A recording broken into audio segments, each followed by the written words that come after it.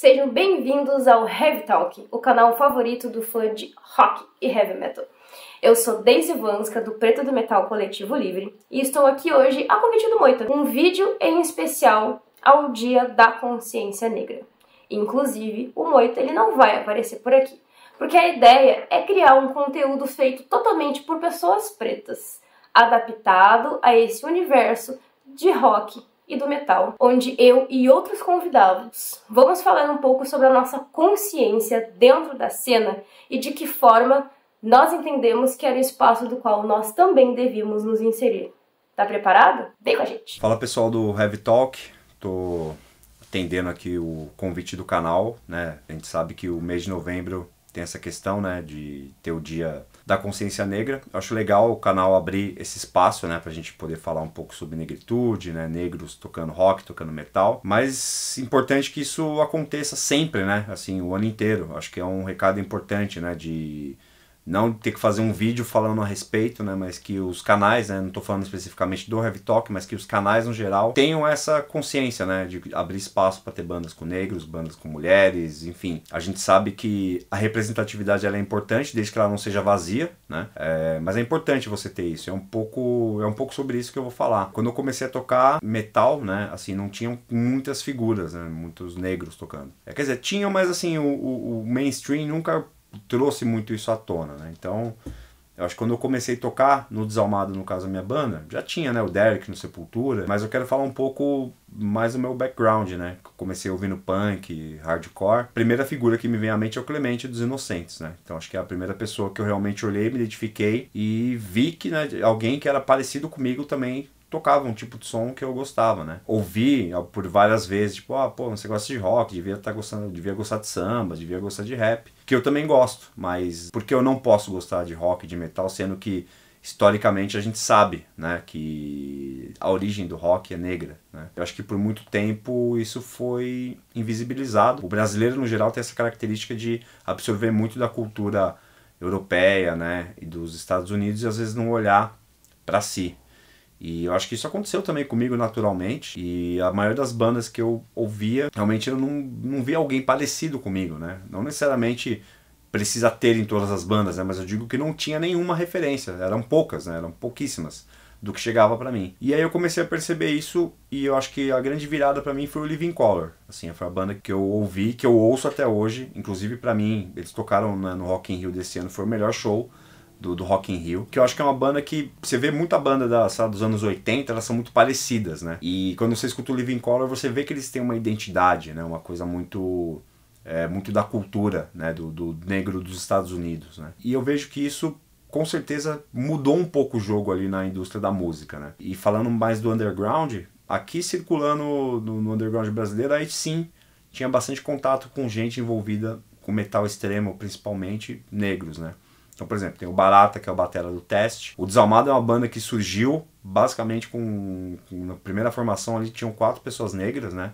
Era um sexteto, né? Mas já começou ali com quatro pessoas negras. E mas a gente nunca pensou nisso assim. Vamos fazer uma banda só com, com mais pretos ou com menos ou com mulher ou isso aconteceu naturalmente, porque eu acho que esse é um reflexo da sociedade, né? A gente não planejou que, que o Desalmado seria isso, ele aconteceu, né? E eu acho que isso é, é fundamental, assim, né? Porque a gente sabe que no geral você tem amizades diversas, né? Então por que na hora que você vai montar uma banda você vai optar por fazer de, de excluir algum tipo de, de, pessoa, né? Então eu acho que circulando no underground, igual eu falei, Barata do Teste, é, o finado Loi do Rebellion, né? Sempre foi uma puta referência para mim, assim, né? Tanto é, musicalmente, mas um lance da atitude, né? E até ele fazia parte aí do, do, do Pretos no Metal, né?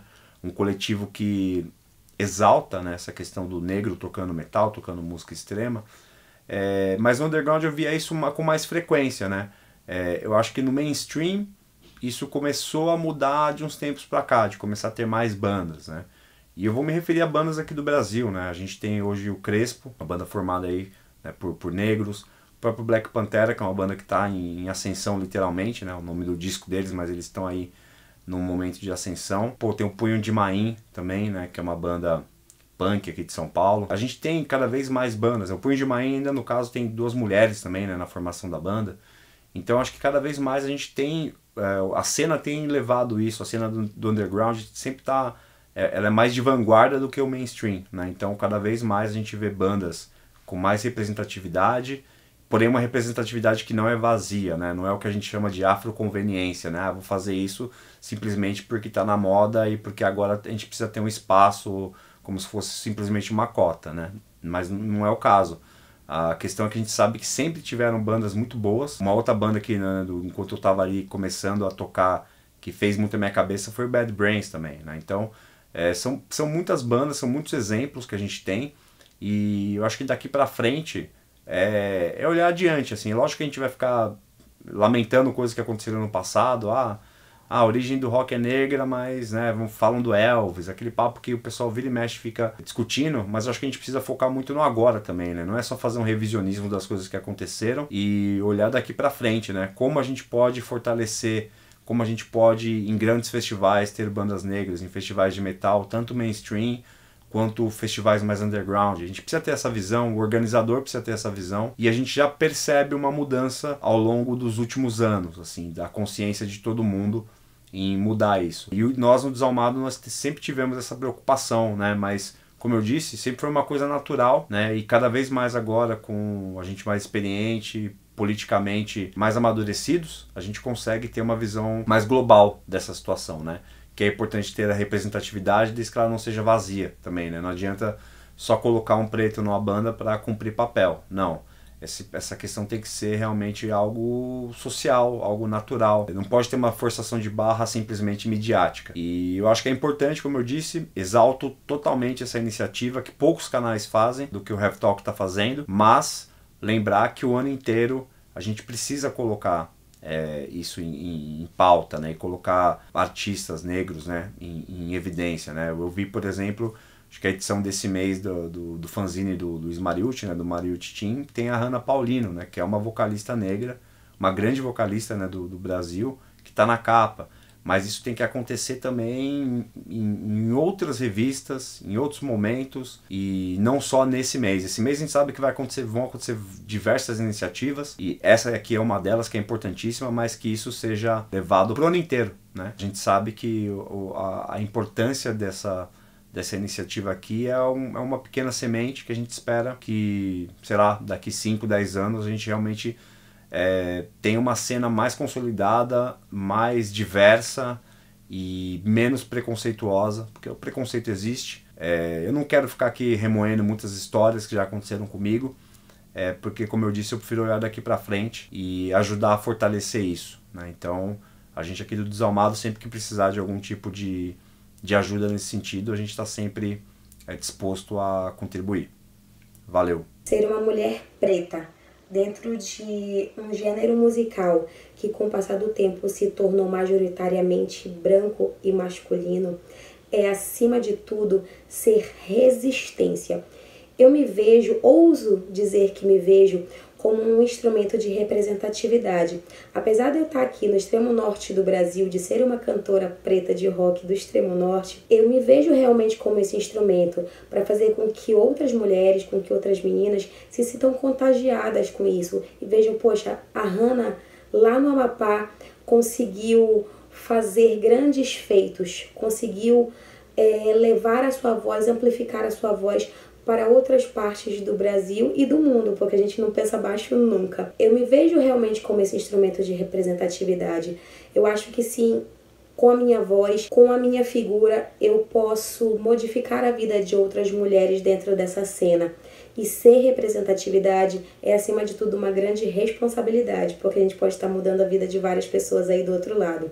Não é só a voz, não é só a imagem, mas é a atitude e é o fato de você olhar para si e falar: sou uma mulher negra, represento o rock e o metal e você também pode e deve ocupar esse espaço dentro desse meio cultural. De todas as minhas referências, a minha primeira grande referência, não posso deixar nunca de citar, é Whitney Houston, que para mim foi e sempre será uma das maiores vozes que já habitou esse mundo. E dentro do rock, eu não posso deixar de citar a Tina Turner, que para mim é a minha maior influência, de uma cantora extremamente versátil e conseguiu conversar com vários gêneros. Então, Whitney Houston e Tina Turner são as minhas maiores referências. A gente tem referências atuais como a Militia Vox e dentre outras, mas ainda ouso dizer que somos poucas. Precisamos ocupar mais espaços, precisamos estar aí e mostrar para todo mundo que o rock ele é preto. O rock veio de Sister Rosetta e nós devemos sim, por direito, ocupar esse espaço que é tão nosso. Então, você menina preta que está aí do outro lado, quer ter uma banda, quer fazer esse rolê, só vai. Isso é muito nosso. Nós somos mulheres pretas e devemos ocupar esse espaço sim. Fala galera, Victor Emeca aqui do Ibria e do Spell também. Muito feliz pelo convite do Moita para falar hoje, um dia que é tão especial, um dia de reflexão, um dia onde a gente mais do que nunca tem que falar sobre questões que impactam a nossa sociedade, que impactam pessoas, que impactam que impactam a cultura do ser humano como um todo, né? Um dia de extrema importância para mim e para muitos colegas aí desse cenário do rock que também sentem isso literalmente na pele, né? Que também sentem essas barreiras, o quão elas não nos deixavam enxergar as nossas próprias capacidades, oportunidades ou lugares que a gente merece estar, né?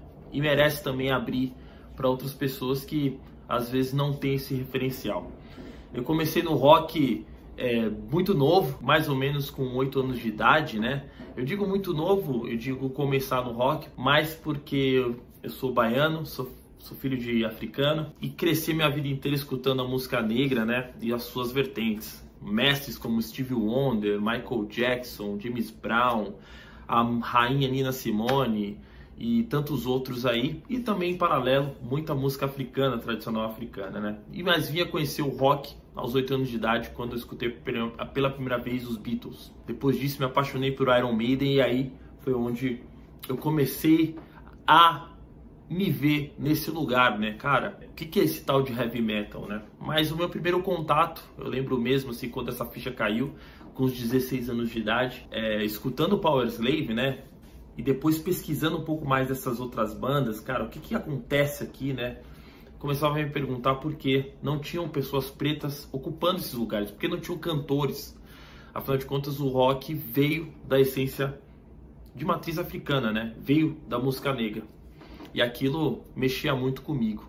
Eu lembro que na adolescência, duas grandes frases de dois ícones incríveis da luta racial, né? O Martin Luther King dizia: "O dia que a gente ficar quieto sobre questões que importam é o dia que a gente vai acabar morrendo, né? O dia que a nossa vida acabou". E a Nina falava, rainha, falava que a função do artista é refletir sobre o tempo que vive, né? E eu muito novo já refletia sobre isso, entendia que aquilo era um lugar que eu não me via, mas que eu podia e tinha a obrigação de construir um espaço referencial e abrir caminhos para outras pessoas, pequenos outros Victors, outros Emecas que não tinham referenciais quais eu tinha na época, né? É, ainda hoje as pessoas não entendem o quão isso é, é bom, o quão isso beneficia a arte, né? A gente conseguir abrir espaços que as pessoas consigam trazer outras vivências, outros pontos de vista, né? Outras qualidades também, né? Outras estéticas, né?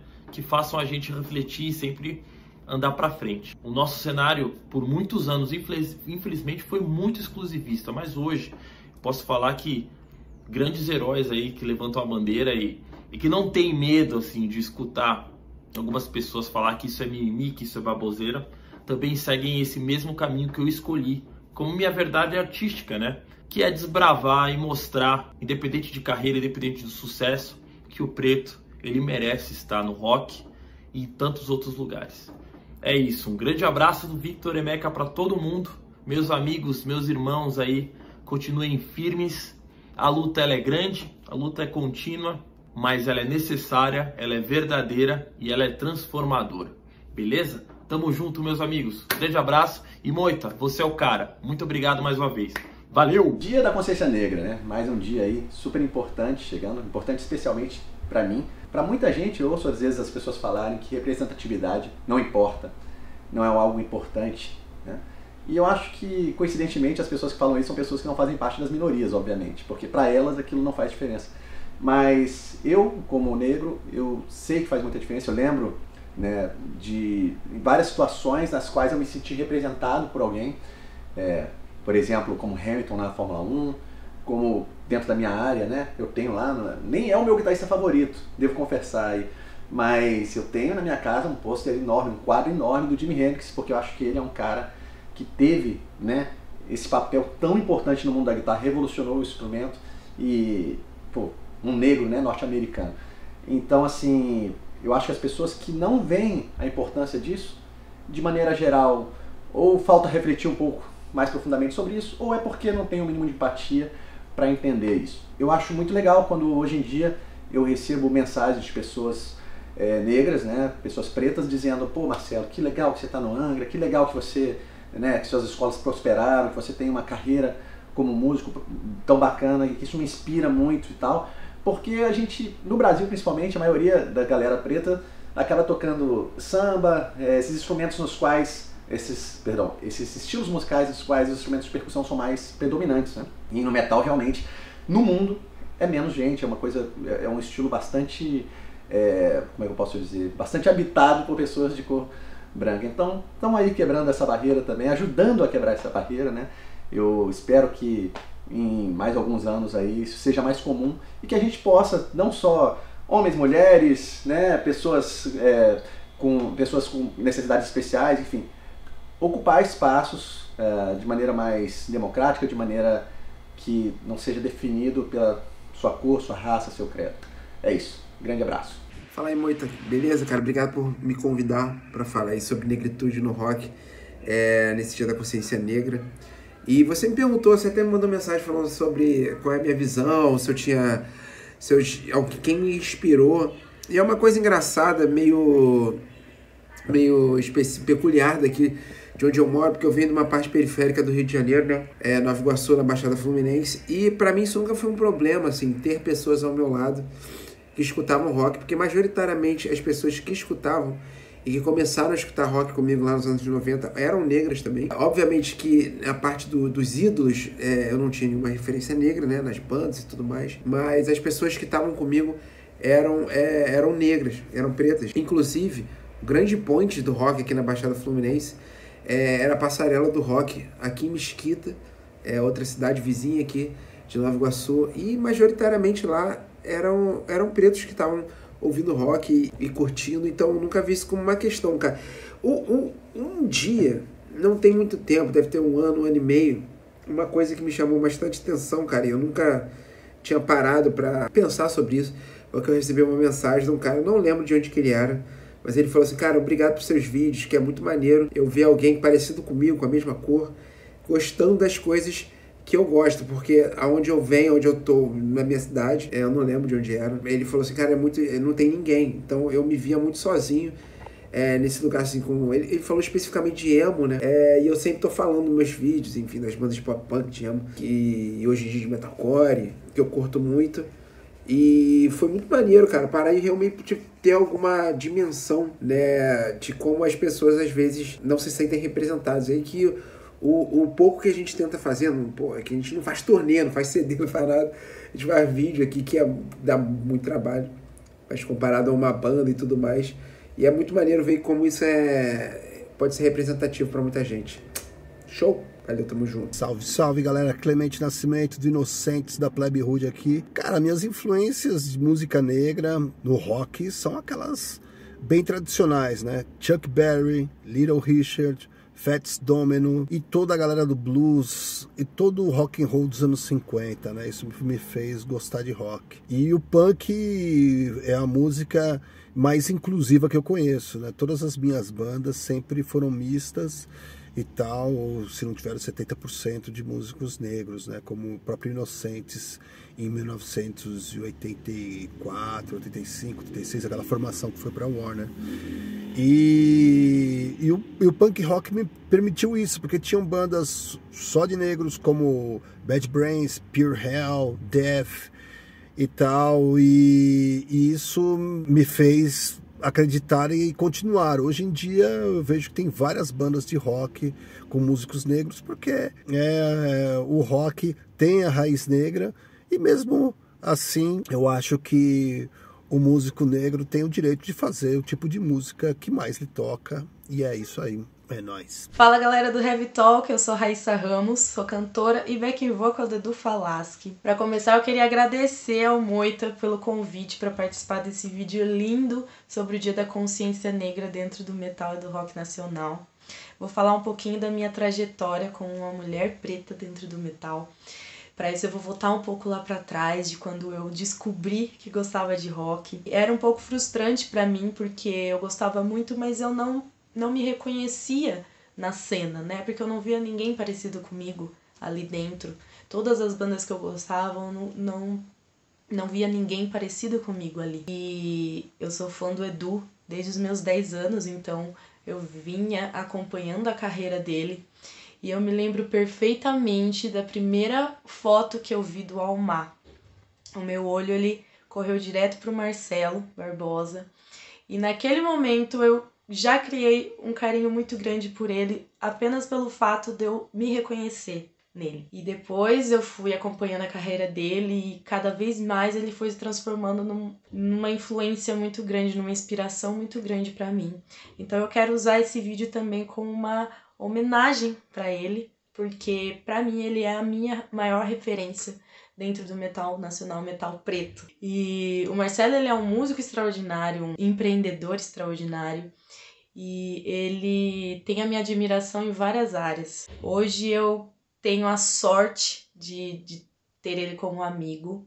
O Marcelo ele me ajuda muito, ele me aconselha muito, a gente tem conversas profundas. Todas as vezes que eu precisei, ele estava ali. Então a gente tem esse apoio um do outro. Eu queria mandar um recado para todo mundo que me manda mensagem me agradecendo, dizendo que eu hoje sou uma, uma referência, que eu represento muita coisa por ser preta, ser mulher e estar em cima do palco do Vera Cruz, aquele palco grandioso.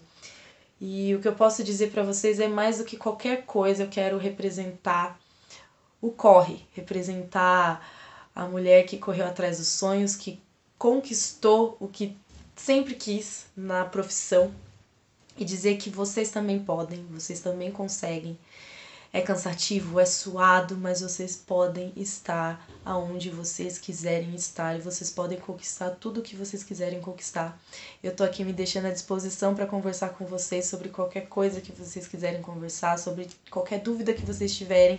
Venham falar comigo, a gente precisa se unir, principalmente as meninas, a gente precisa se unir, então se vocês tiverem alguma coisa para falar comigo, vem falar que eu tô aqui à disposição. Eu quero ser uma boa referência para vocês, assim como o Marcelo foi para mim lá atrás. Tá bom? Um beijo, muito obrigado Heavy Talk, muito obrigado Moita pelo convite mais uma vez. E a gente se vê. Beijo. Todo mundo gosta de se sentir representado.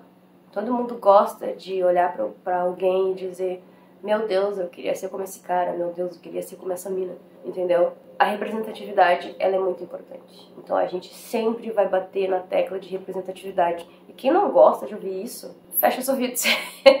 Como diria minha avó, fecha os ouvidos. Minha saudosa avózinha, fecha os ouvidos. Por que que isso é importante? Eu lembro que quando eu realmente me senti representada, assim, quando eu vi que tinha um integrante preto numa banda, que me chamou a atenção, mesmo assim, que chamou muito, muito, muito, muito atenção, foi o Fumanchu, né? A gente tá falando de underground. Fumanchu, né?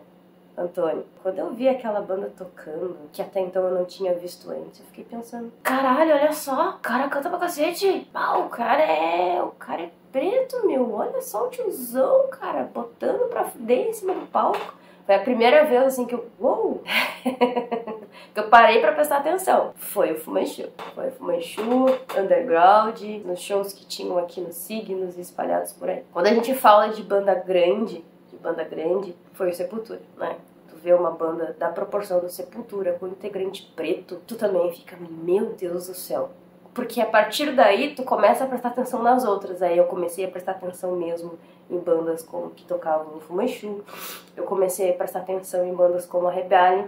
Então não tem como não falar aqui que uma das maiores influências em representatividade do underground foi o Luiz Silveira e esse legado vai ficar para sempre porque ele foi um marco de representatividade sim aqui no Rio Grande do Sul do underground e por aí afora porque eles faziam shows fora daqui Então muita gente corria atrás também por causa do Loi. E, e, inclusive, né, eu tenho que comentar aqui que muitas bandas se formaram, né, por causa da Rebalho, exclusivamente, principalmente por causa do Loi Silveira.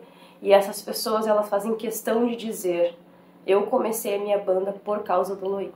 Eu comecei no Brutal Death Metal por causa do Loi. E isso é muito importante ressaltar, porque ele merece todo esse reconhecimento. Ele tinha esse reconhecimento antes e ele tem esse reconhecimento depois, porque o legado dele foi um, um legado muito bonito que ele deixou por aqui. Inclusive, uma das bandas que falou isso pra nós foi a banda Barbatos. A banda começou por causa do Loi, e eu tenho orgulho disso. A nossa banda começou por causa do brutal death metal gaúcho, eu tenho orgulho disso.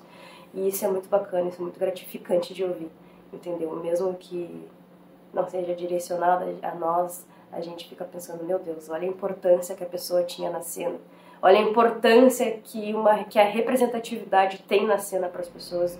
Eu acho muito legal isso. E a minha história com preto, ela começou e eu lembro que, que eu pensava assim, não, ah, por que, que eu vejo poucas pessoas pretas, né? Ah, podia ter uma página sobre isso. Só que quando eu pensei já existia. e isso foi muito legal. Então eles postavam e lá comentava, tinha live e lá comentava. Eu era a chatinha da internet, né? Segundo o Joey. Segundo o Joey se auto-intitula, eu era a chatinha da internet. Então eu ia lá, eu comentava, eu dialogava, etc e tal. Até que surgiu o convite. Ah, Daisy, aí tu não quer fazer parte do Preto, Del? Já tá enchendo o saco já nas redes sociais? Vem encher o saco aqui com a gente então, né? Então tá. Ah, então tá, fechou aí. É, é nóis, fechou. E aí tô no preto tô no preto até hoje. Por quê? Representatividade. E uma das coisas mais importantes que aconteceu de ter feito, de estar fazendo parte do Preto do Metal, é que automaticamente, e eu não tinha me dado conta até começarem a me parar nos shows, automaticamente eu me tornei representativa. E aí a tua cabeça faz assim, não, peraí, como assim eu me tornei representatividade para as pessoas? E aí tu fica pensando, não, não sim, não, né? Tu não quer, tu não acredita. Então, sim, Preto do Metal, ele trouxe traz também esse lance de representatividade não só em relação às bandas. Então, se eu tô num show, caminhando pelo show, estando com a camiseta no preto principalmente, as gurias me param, elas me param e elas perguntam: Meu Deus, o que, que tu tá fazendo aqui? Eu, ai, eu vim assistir o show. É tão difícil tu ver uma mina preta circulando. Que bom te ver aqui. Como é que é teu nome? Meu nome é Fulano. Ah, eu faço parte de um coletivo, se chama Preto no Metal, segue lá, curte, compartilha, a gente posta muitas bandas com pretos, muitas bandas uh, com mulheres pretas, então quando tu escuta isso, mesmo que tu não seja musicista, mesmo que tu não seja músico, tu fica pensando que a representatividade ela importa em todos os âmbitos. E eu nunca vou esquecer que a última pessoa que me parou foi no festival que, que teve do Léo lá em Caxias do Sul, em Caxias do Sul, que eu tava caminhando e caminhando ali pelo indo em direção à bebida e a, a moça me parou assim: "Oi, tudo bem?" Eu: "Oi, tudo bem. Meu nome é fulana, prazer."